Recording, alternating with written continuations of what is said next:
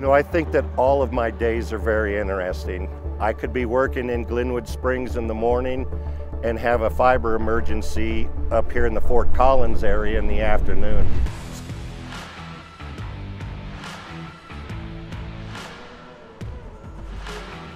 Hello, I'm Michael Lopez. Everyone calls me Milo. I'm an electronic specialist for with Colorado Department of Transportation.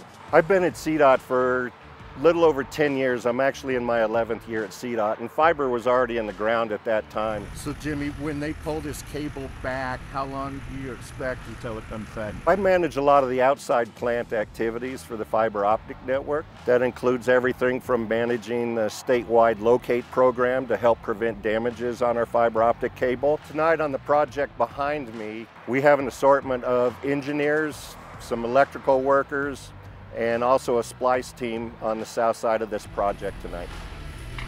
We're getting uh, the cable uh, ready to be installed in the splice can. We're accessing the buffer tubes and, and getting ready to do some splicing. I do a lot of testing for fiber strand continuity and ensuring that the fiber optic network is going to operate at its peak performance. This project is a relocation of the fiber optic cable that travels from Denver to Fort Collins.